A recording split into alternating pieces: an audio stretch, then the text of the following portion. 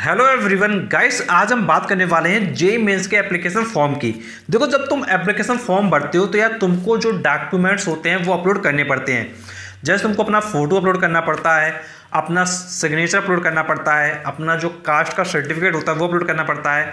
अगर तुम P W D candidate हो तो यार तुमको उसका सर्टिफिकेट अपलोड करना पड़ता है। तो यार ये जो तुम्हारे जो डॉक्यूमेंट्स होते हैं, इनका क्या साइज़ तुमको रखना पड़ता है? तो यार तुम अगर जेई मेन का फॉर्म भरने वाले हो तो डेफिनेटली तुम क्या है इस वीडियो को देखो। और जब तुम फॉर्म भरने के लिए बैठे तो कम से कम डॉक्यूमेंट को अपने साइज़ के अकॉर्डिंग पहले बना लो, उसके बाद फॉर्म भरने के लिए बैठो, जिससे कि तुम्हारा फॉर्म क्या है, कम टाइम में फिल हो जाए। तो चलिए हम स्टार्ट करते हैं।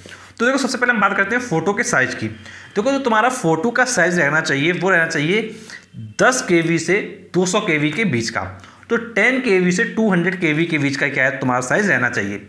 और देखो, एक चीज़ ये भी ध्यान रखना, जो फ़ोटो तुम एप्लीकेशन फॉर्म में अपलोड करने वाले हो उसकी क्या है, जो हार्ड कॉपी है, वो भी ज़रूर अपने पास करवा लेना। जिससे कि जो हार्ड कॉपी है, वो तुम एडमिट कार्ड में लगा सको। अब देखो सेकंड पॉइंट में हम बात करते हैं साइन की। देखो, अगर तुम्हारी साइन की अगर हम बात करते हैं स्कैन कॉपी की तो वो तुम्हारे पास होना चाहिए साइज़ उसका फोर के से थर्टी के तो सिग्नेचर का जो स्कैन कॉपी है, वो होना चाहिए तुम्हारे पास फोर के से थर्टी के के बीच का। अब हम बात करते हैं कैटेगरी की। अगर तुम्हारा कोई कास्ट सर्टिफिकेट है, किसी तुम कैटेगरी में आते हो, जैसे ओबीसी में आते हो, या एससी में हो, या फिर एसटी में हो तो यार तुम्हारा जो साइज़ होना चाहिए इमेज का वो रहना चाहिए फिफ्टी के से थ्री हंड्रेड के के बीच का। फिफ्टी के से थ्री हंड्रेड के के बीच का। और अगर तुम पी डब्ल्यू डी कैंडिडेट हो तो यार तुम्हारा साइज़ रहना चाहिए सर्टिफिकेट का रहना चाहिए फिफ्टी के से थ्री हंड्रेड के के बीच का।